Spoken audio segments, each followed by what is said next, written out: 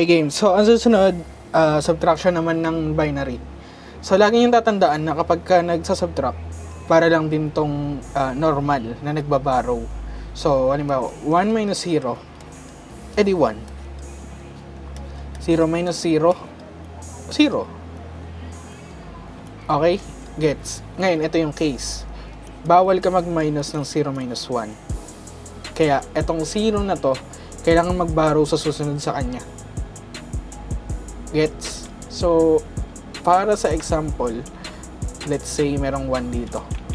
So, 1, 0 minus 1. So, bawal mo itong i-minus dalawa. Kasi nga, bawal ka mag-minus ng 0 yung nasa taas, tapos yung 1 yung nasa ilalim. Okay?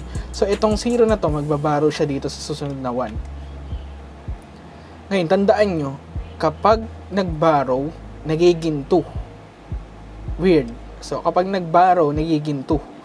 So, magbabaro si 0 kay 1. So, si 1, magiging 0 na.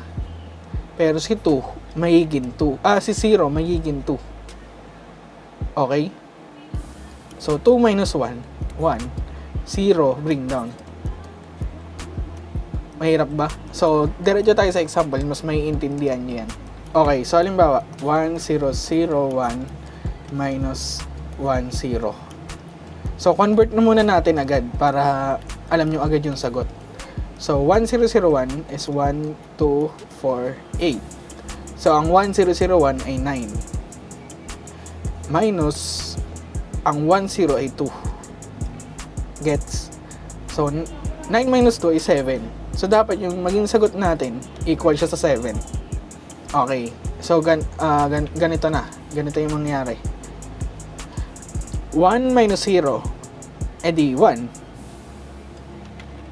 Kasi ito yung sinasabi ko. 0 minus 1 ay bawal. Kasi nga bawal ka mag-minus ng ganon. So, kailangan yung mag-borrow sa nearest 1 sa kaliwa. So, ito yung pinakamalapit na 1. Okay, magbabarrow tayo dun. So, itong 1 na to ay magiging 0. Kasi itong yung 0 na to, magiging 2.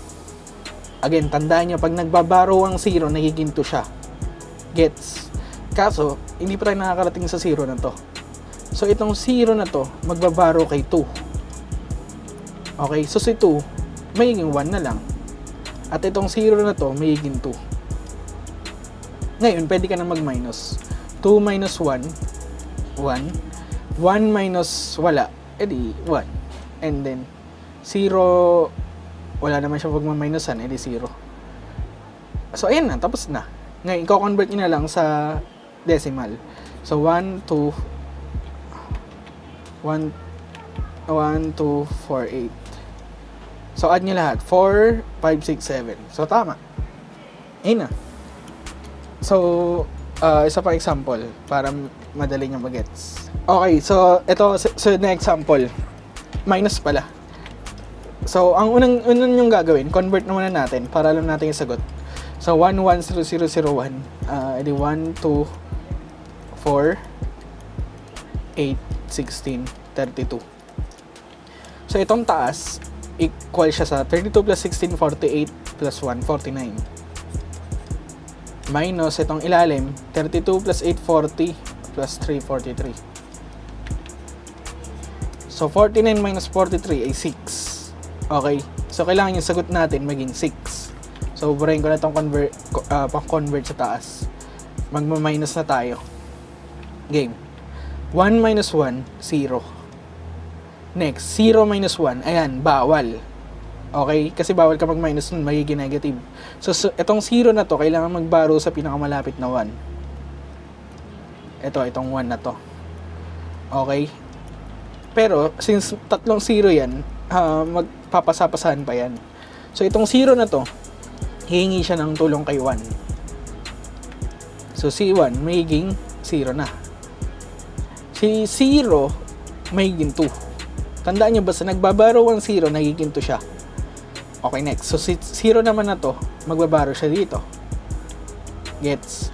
So, itong si 2, magiging 1. Now, itong si 0 na to, magiging 2. Okay, next. Malapit na. So, 0 na to, si 0 na to, magbabaro kay 2. Okay? So, si, si itong 2, magiging 1. Tapos itong 0 na to, magiging 2. Gets? So, yan. Pwede na tayo mag-minus. 2 minus 1, 1. 1 minus 0, 1. 1 minus 1, 0. 0 minus 0, 0. 1 minus 1, 0. Okay, so ito na yung sagot. Uh, 0, 0, 1, 1, 0. So, ang dulo is convert. Tingnan natin kung tama. So, 1, 2, 4, 8, 16, 32. So, ayan. 1, 1, 0 ay 4 plus 2 is equal to 6. So, ayun na. Ganun lang kasimple. Okay, so last example. 1, 0, 0, 0, 0, 1 minus 1, 0, 1, 0. So, wag muna natin i-convert. Sagutan na agad natin diretso. Mamaya natin i-convert pagkatapos. So, 1 minus 0 is 1. Ngayon, ito. 0 minus 1, bawal. So, kailangan agad nito mag-borrow dun sa pinakamalayong 1. So, since apat sila, mag uh, papasapasahan yan. So, ito muna ang pinakamalapit. So, si 0 mag-borrow kay 1, kaya si 0 magiging 0 na. Ah, si 1 magiging 0 na. Si 0 magiging 2. Kasi nga, pag nagbabaro 1, 0, nagiging 2 siya. Then, ito namang 0 na to, magbabaro dito. Kaya itong si 2 magiging 1. Ito, magiging 2. Next, itong si 0 magbabaro dito. Kaya itong si 2 magiging 1. Ito magiging 2. Next, so si 0 na to, magbabaro dito. So si 2 magiging 1, si 0 magiging 2. So, minus minus na yan. 2 minus 1, 1. 1 minus 0, 1.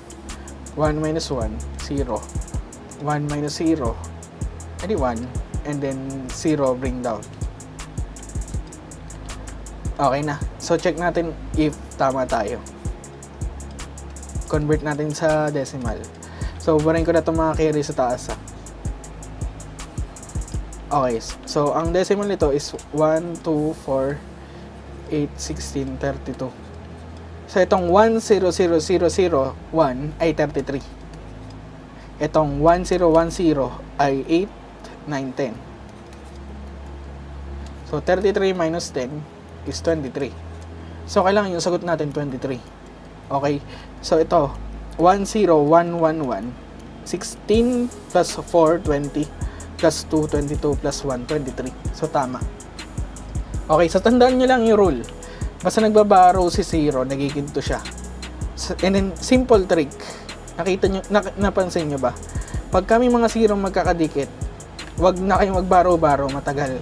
Basta yung pinakamalayong 1, automatically magiging 0. Tapos lahat sila magiging 1. Then yung pinakandulong 0, magiging 2. Gets? Ngayon, ting sige, isa pa para maintindihan niyo. Kahit yan lima.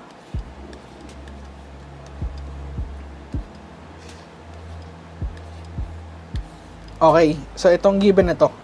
Para makita niyo yung shortcut. 1, 0, 0, 0, 0, 0, 1, minus 1, 0, 0. So, convert agad natin. Okay, so 1, 2, 4, 8, 16, 32, 64. Now, convert natin yung taas. 64 plus 1, 65. Then, minus 4. 65 minus 4, 61. So, kailangan yung sagot natin equal siya sa 61. And, ganito yung shortcut kapag ka nagbabarrow. So, 1 minus 0, ano? Edi 1. 0 minus 0, 0. Ngayon ito, 0 minus 1, bawal. Kailangan mag-borrow. Kaso, apat sila magkakadikit. Then, ang pinakamalayong 1, ito. Okay? Ah, as a shortcut, ganito lang siya kasimple. Pag kami magkakadikit na 0, yung 1 na to, automatically magiging 0. Then, lahat ng 0, cancel. 1, 1, 1, 2. Gets? yung pinakang tapat nung nagma-minus ka, ito, ito yung mina-minus mo eh, oh, magiging 2. Pero yung in between, magiging 1. So, yun na. Uh, 2 minus 1, 1. And then, itong mga 1 na yan, bring down na lang. Kasi yung 0 na to, bring down. So, check natin tama tayo. 1, 2, 4, 8, 16, 32. So, 32 plus 16, 48. Uh, 48 plus 4, 52. Plus 8, 60. Plus 1, 61. So, tama.